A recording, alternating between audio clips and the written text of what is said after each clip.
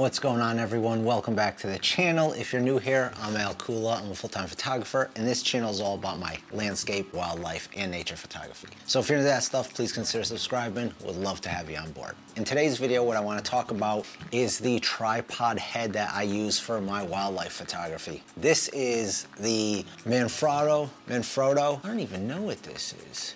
This is the Manfrotto MVH502AH. It's basically one of Manfrotto's fluid heads. I've actually owned this for a, a little over uh, about a year and a half or something like that. And I've used it for a lot of video. What you guys don't probably know about me is I do real estate full time. So I do real estate photos, I do real estate video. So I've used this tripod on some real estate videos. I've also used this on just some like nature and outdoor videos that I've made. I've had it, been using it for a while. And more recently when I got serious into wildlife photography, I was like, well, okay, I can just use this for um, for my wildlife as like a gimbal head or whatever. And compared to some of the other ones, those like L-shaped ones, this is a lot more cheaper. Those tend to be pretty expensive. Some of them are over double the price of this. I think this is like 175 bucks or something like that, which actually is not very expensive. And yeah, this has been like working awesome for me. Now, a buddy of mine, his father used to do a lot of photography and has one of those like L gimbal brackets or whatever. And so I used it for a little while and maybe I'm just used to this, I don't know, but I, I prefer this over that. And again, it's just my opinion and it's probably because I'm used to using this one. I know a lot of wildlife photographers actually do use the other like gimbal heads or whatever they're called. So yeah, this is just what I use, my thoughts about this. Um, overall, I think it's great. Like, even if you just want to use it for video and not necessarily wildlife. So down here, this big red, I don't know if you can see that, but this red um, knob here allows you to tighten the tension and loosen the tension, uh, and that is for the panning. And then you have another knob, which is right here, which you can loosen and tighten, and this is for the, uh, the tilt um, up and down. When you tighten these up, it's extremely fluid, very, very smooth. You know, I've used some cheaper ones in the past and they, like whenever you're going to pan it, it's like, it, there's always that stutter moment. And if you're shooting 60 frames a second for, or 120 frames per second, you can slow the footage down and you don't really see that that much. But this has absolutely zero of that like getting stuck or notching or whatever you want to call it. It just works really, really well. It has a, um, a little knob right here that you can tighten down and then you can no longer pan it so it sits in place. And then there's also another locking lever right here. Just turn and lock that and now you can't tilt it at all. So those work really well.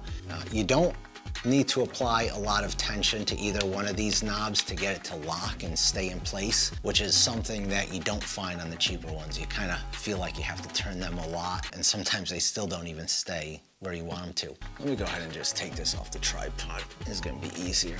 So you have this adjustment lever here that you can loosen up and then you are able to slide the, uh, the tripod mounting clamp plate um, back and forth. So this way, when the camera and lens are on here and they're on the tripod, you can like balance it out so it's not leaning back or it's not leaning forward. So yeah, you've probably seen me using this in all of my videos uh, for wildlife anyways. I bought this little um, clamp, tripod clamps or whatever, and I basically just screwed this onto the Manfrotto plate. So yeah, I just screwed this onto the bottom, and then this is a regular Arca Swiss, so you can put any camera on here that you want. This is built extremely well. I've dropped this a bunch of times putting it on and off of the tripod. I've never had any issues at all. Let me just put this on here and show you what it looks like. Just put this on here, loosen this up. So this is the way it works. And you can see, you know, this is wanting to tilt back. So what I would do is loosen this screw right here and maybe I'll just slide this forward to balance it out a little bit. And right there, it's no longer, it's no longer moving around, so it's perfect. So let me go ahead and kind of show you what this looks like, kind of all mounted up. So yeah, I mean, you can get this at B&H, Amazon, you know, any, basically any uh, camera shop or whatever, they Adorama, they all sell it. And we can put this this way, put this on using this, and that's it. This is good to go. So it's extremely flexible. So one of the reasons I actually like this setup better than like those L-shaped brackets is because, okay, this is probably just me and I'm a weirdo, that's fine. When I'm sitting behind the camera, and actually this is a pretty good representation of how I shoot wildlife, right? I just feel like when that bracket is out here, it's like it's in my way. I don't know, it's weird, right? So maybe it's it's probably just me, and again, I'm, I'm used to using this, so it's probably why I feel that way. But I just feel like when I'm behind the camera, like, I want I want full vision. Like, I don't want anything sticking out on one side, because what I tend to do is, I tend to stay behind the camera, keep my face behind the camera. Uh, and again, this is when I'm shooting like trying to shoot deer, birds, smaller wildlife, things like that, because you know they have they're much more scared of you and, and they want, want to run away. That's their first instinct. You're shooting bears or like you know, you know, moose or big wildlife like that, elk, I mean, you don't really have to hide behind the camera. But yeah, I mean, I just kind of like, like to keep myself behind the camera. I never use the eye finder or the, I don't even know what it's called, the, the viewfinder. I always use the LCD screen when I shoot.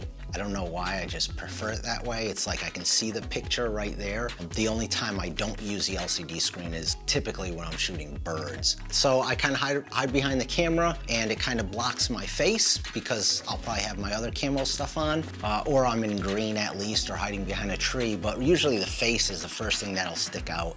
So yeah, I mean, I just wanted to make a quick video and again, it's just great for video overall. Um, it's extremely smooth uh, very fluid, you know, no problems at all. And uh, on the right tripod, it just, it just works fantastic. So what I also like about this, I don't know if you guys can see, but over here, there is, uh, this is a 3 8 thread.